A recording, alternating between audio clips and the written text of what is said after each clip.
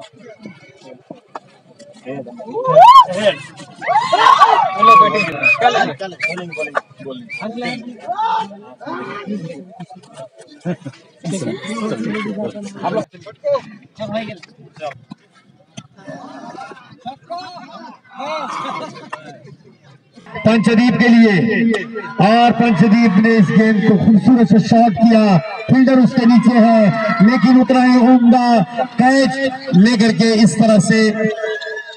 Match का अंत किया और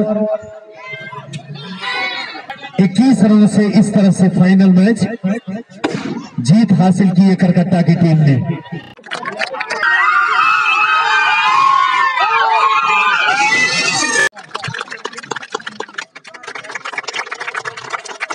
फाइनल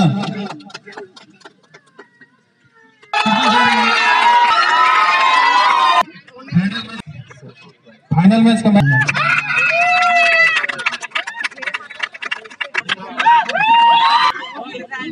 और और भी पुरस्कार.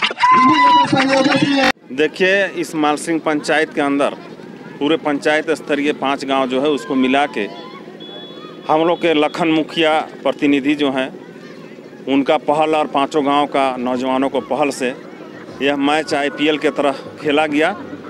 और हम लोग इस मालसिंह पंचायत को एकता का बंधन जो पहले से था, उसको बरकरार रखने और भविष्य में सर्व समाज सर्वधर्म एक इसी तरह हमारा पंचायत जुड़े रहे और सबका एक दूसरे का साथ दें। इस मैच के माध्यम से हम लोग यह मैसेज देना चाहते थे, जो कि हम लोग सफल हुए, जिसमें बहुत सारा नौजवान पाँचों गाँव का साथ दिया और हम लोग एक खुशी के साथ फ़र्स्ट प्राइज ग्राम करकट्टा और सेकंड प्राइज ग्राम मालसरिंग और तृतीय मालसरिंग और चतुर्थीय सिरांगो जीता। लेकिन नंबर से कोई मतलब नहीं दूसरे एक दूसरे से हम लोग मिल के खुशी बांटने का काम किया सभी लोग प्राइज लेके जा रहे हैं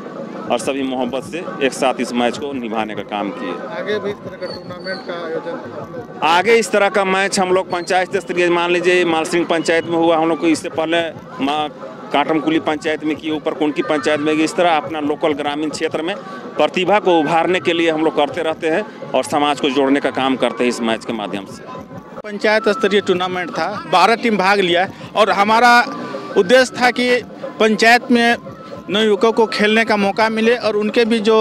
अभी जो जैसा स्थिति है एक हिंद भावना एक दूसरे से लड़ाई झगड़ा वो बंद हो और आपस में भाईचारे के साथ साथ में रहे एक दूसरे का मदद करे यही हम लोग को मेन उद्देश्य था। आगे भी आप लोग इस तरह का आयोजन करते रहे हैं और उम्मीद है जब तक हम लोग इस तरह का समय समय से करते ही रहेंगे कार्यक्रम।